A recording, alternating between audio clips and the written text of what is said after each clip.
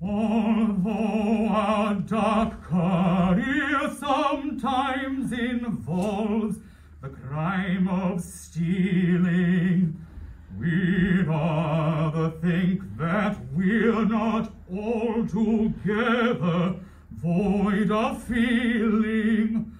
Although we live by strife, we're always sorry to begin it.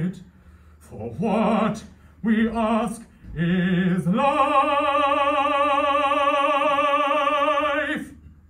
without a touch of poetry in it.